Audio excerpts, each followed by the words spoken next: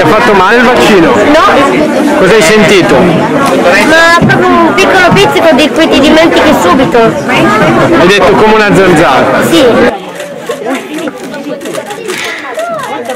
Un grande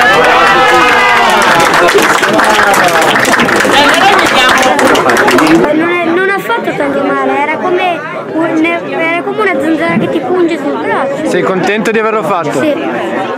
Spero di fare presto la seconda dose. Quali, quali sono le motivazioni che l'hanno spinta a credere nel vaccino? Beh, eh, a parte le motivazioni scientifiche che- di cui posso godere e di cui ho approfittato in- informandomi, ehm, un grandissimo entusiasmo per poter finalmente eh, far vivere ai bambini una, una vita normale e anche soprattutto il loro entusiasmo. Hanno visto eh, il terrore delle prime settimane, e la stanchezza, le preoccupazioni e, e quindi poi anche la relativa eh, gioia eh, quando eh, in casa si parlava della possibilità che sarebbe arrivato questo vaccino, quindi magari le notizie arrivavano un po' prima e si sapeva che nell'aria c'era eh, l'arrivo del, del vaccino.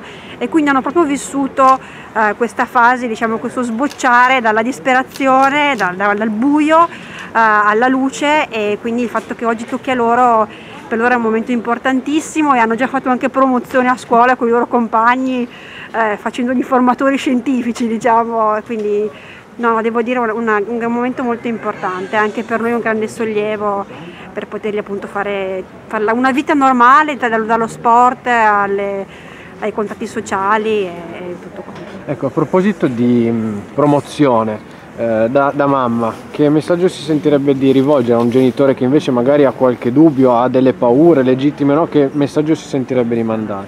Ma le paure sono legittime e mh, è importante informarsi dalle fonti corrette e è importante ricordare che senza vaccini oggi non saremmo qui, ci sono dei vaccini importantissimi come il morbillo, eh, il meningococco che eh, salvano le vite e, e questo vaccino eh, ci, ci permetterà ehm, di vivere veramente con serenità questo lungo periodo che ci aspetta ancora di, ehm, di oppressione. E, mm, quindi informatevi dalle fonti corrette, fidatevi della scienza.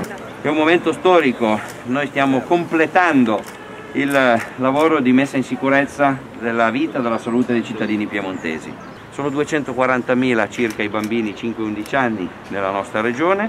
Noi abbiamo aperto prima in Italia venerdì le preadesioni, venerdì scorso, sono già 17.000 i genitori che hanno iscritto i propri figli e ad oggi già la metà di queste persone, di questi bambini sono stati chiamati e hanno un appuntamento. vaccinarsi a quest'età eh, ha un rendimento molto più elevato rispetto a vaccinarsi alla mia vita e soprattutto poi abbiamo visto vaccinarsi agli 80 anni negli- purtroppo è un qualcosa che funziona un po' meno.